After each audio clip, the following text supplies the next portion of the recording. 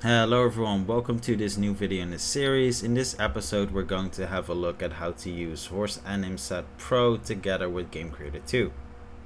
So here we are in our scene um, and I'm actually going to walk you through it um, because you know most of this took a lot of figuring out on my part, a couple of custom scripts unfortunately um, and a um, revise prefab to make things easier. Now, I want to be absolutely clear, this prefab will only do anything if you actually have Horse Animset Pro. If you don't have it from uh, Animations, um, then this video is pointless. Um, so this is a new revised um, version of um, the prefab. So it has one additional script that I created, um, which um, you will need to assign your player so the, the base player from Game Creator 2, um, you'll need to assign it here. Um, the horse itself is here and the offset um, will depend on your character. So for example, me, I'm following along with this series, so this offset will work fine. Um, however, you know, if you didn't follow along then or have other characters, then you might need to use a different offset. I gave you the option just in case. So we also need to add to our hero variable that we set up before, we need to add a mounted bool. So just set that up, call it mounted, just add click plus, um, and you'll add a new bool. Then um, we're going to on mount, um, turn those on. Now I added some Game Creator 2 script uh, options here so you can add your custom uh, instructions for this script on mount and uh, on dismount so you can add more um, you know, add other things. Um, the script will automatically control Malbers' input, so you don't actually have to do anything for that. It will automatically turn it on when mounted, turn it off when um, when we're dismounting. So that's all automated. Um, we also need to do a second uh, version, uh, a duplicate of our main shot. So literally duplicate it. Um, and then here, um, all I changed is clip through um, instead of avoid clipping um, because it was just annoying. Uh, however, if you want to change the values a bit, might be better. Then when it comes to the game object, um, so here in game object, find game object to change the look, um, drag in the horse, and make sure to also do that with orbit. Quite important, don't forget that. Uh, and of course, adjust the settings more if you want. I didn't actually do that, um, but you might want to do that to make it a bit better. Um, and that's it. Then um, on here, um, when we go to most of this is the same. However, I changed the right trigger. Um, I didn't set up left, etc. You can do that yourself. Um, I had to do quite a lot of custom scripting for this already. Um, so just set it up yourself because you'll need to tweak some of the stuff. So um, we have this one trigger here. Um, the other ones are, you know, they are already game creator it just won't do anything so if you want more points to climb the horse you know have fun.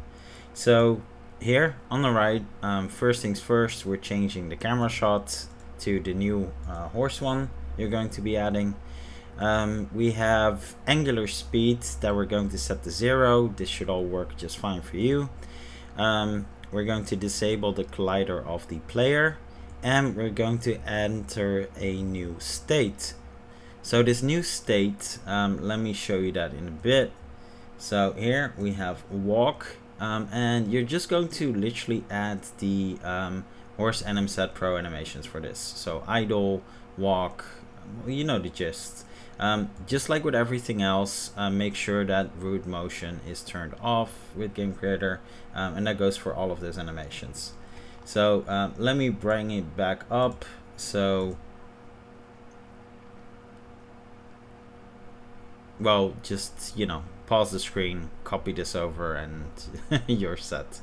So yeah, that's pretty much it. It's important that you set property speed to zero and can jump to off. Um, the same with uh, run. So duplicate this one once you're done and then set up run. Um, and there's only a couple you can change, so sprint left, right, and sprint here. Um, everything else is actually the same because there's not that many sprinting animations for the actual rider itself. Cool. So um, we'll get into the whole running uh, piece in a bit. So um, in here, Um, so we changed our uh, state. So uh, change the state. Um, you can pick whatever layer you want. Just make sure it's always lower than the right uh, sprinting one. So that's why I did two. Uh, no transition. And then we're going to use the new enhanced gesture. So that's a new instruction I've added. Um, just type in gesture and you'll find it, enhanced character gesture. Um, now this gesture um, is actually um, uh, quite a bit different.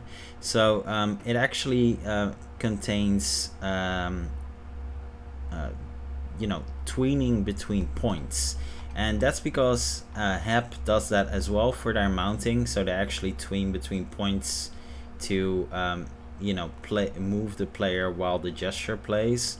Um, so we had to do the same because otherwise it just looked weird. Um, I don't think I've even optimized it that well so move the points a bit along you know as, as much as you want. Um, and yeah so um, basically we've got a starting point um, which is here. Um, and then we've got a middle point, uh, which is this one, and we've got a endpoint, which is this one. And basically what you do is while the play uh, gesture is playing, it's going to be moving along these points. Um, default game creator 2 gesture couldn't do that, so I had to make a custom one um, that will do this. Um, it's actually really cool for a lot of things. Uh, this whole tweening stuff. It's pretty awesome. You can use it for multiple things. Um, no waiting here because we're going to do a wait here that is just a tiny bit shorter. Um, and that way um, we can invoke the method of actually mounting. That will take away the flickering uh, little moment uh, between animations and states. So it's a that's why we're doing it like this. And then we have the invoke method, which is calling our custom new script um, that we're mounting. Um, so yeah, pretty cool. Um, then, um, yeah, that's pretty much it. Then we have a, um, a collider here that is set up. So once um, the mounted ball, so look that up, the mounted ball that we just added. Uh, once the mounted ball is uh, changed, then um, this is going to be set active. So we're setting this to uh, active. Um, and then uh, on this trigger is going to be activated, um, which when we press F, by the way, that is the input F, I forgot about forgot to say that. Um, once we press F, um, it will execute these actions. And it's basically just the opposite of what we did before. Um, so we're changing the camera shot again. Um, we're invoking the dismount. Um, we're stopping the state. Um, we're playing a the opposite gesture of dismounting. Again, we're doing the same waiting trick. then we're setting the trigger uh, inactive enabling the collider and setting the angular speed back to the way it was supposed to be. Um, and that's it. Now, if you don't change the angular speed, um, by the way, and just just to inform you, that's actually this one. Um, it, I know it has a different name, so it took a while to actually find it. Um, but if you don't do that, it will still be rotating along on the horse, which is just really annoying. Because we didn't make the player static. So the player doesn't have any speed while on the horse. Um, it's completely um, parented to the horse and it can't do the, the whole rotation. But it's still playable. And the reason I did that is because um, later on when we're going to set up melee and um, you know if the shooter module will be active for bow and arrow um, we can actually still do those things without uh, without any issue because the player is still an active entity um, we're just it's just not literally moving on its own um, when it's on the horse and it's parented so let me show you what this looks like in uh, in action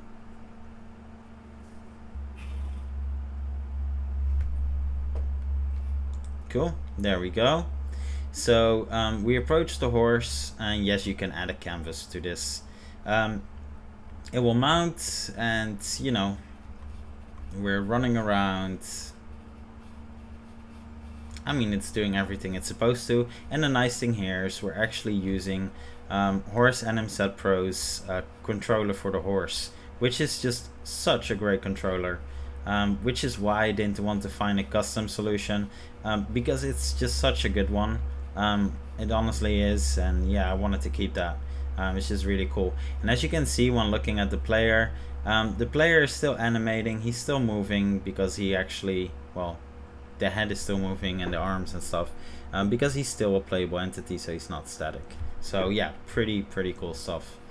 Um, so yeah, this required quite a bit of uh, custom setup, so dismounting as well. And I, I realized the points could be a bit better. You can, um, you know, the uh, easing points or tweening points I set up.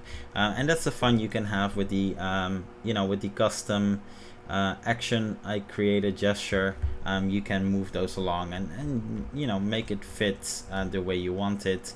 Um, but at least it's working and we've got uh, tweening or lerping whatever you want to call it um, between points for uh, for mounting which is really really cool. So yeah quite uh, quite happy with this. Uh, and there we go. Now when it comes to running um, I did change that on the player as well so I just want to show you. So this is the original um, which was doing this. Um, this is the new one. Um, so letting go of shift is still exactly the same. That doesn't change, by the way, quite important. Um, the only thing we did is remove um, everything here, added some new uh, run conditions, and then we're running the conditions. And the conditions are basically still doing the same, but it's just checking um, if mounted is false, then we're still doing our default uh, locomotion state. So everything else is still the same as it was before. So it's just checking, um, you know, okay, we're doing the normal run. If mounted is true, then we're doing the run ones. Make sure they're both on layer 10. Um, and that's it. So we're actually, on the rider you just don't really notice it that much. Um, but we're actually, you know, doing the run thing. But yeah, you just don't really notice it. Um, so yeah, pretty cool. Um, and yeah, that's pretty much it. Um, not much else to this. Um, it's a, uh, you know, it's a, it's a quite custom approach. Um, but just without any custom scripting, I couldn't get this done. So I needed some custom scripting, but using complete um, Horse Animset Pro scripting on the player um, be, became quite messy because then you had to modify the animator completely with new animation layers. Um, honestly, it was just too much, way too much. Uh, so we're not doing any of that. So there's nothing on the hero as you can see. So no custom Malbers scripting on the hero.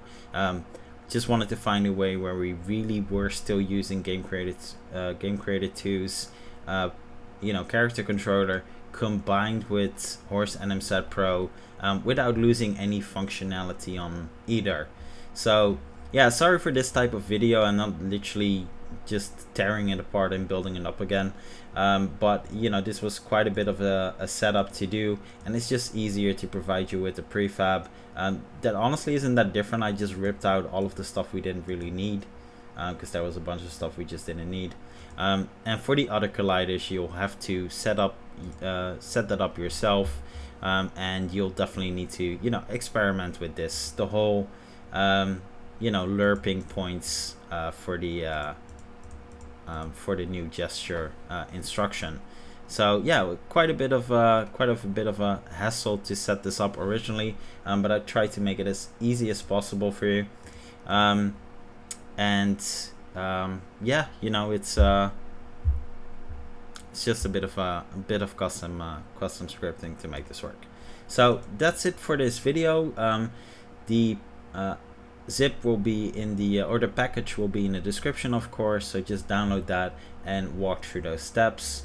Um, and yeah that's pretty much it. So thanks for watching everyone and I'll see you in the next one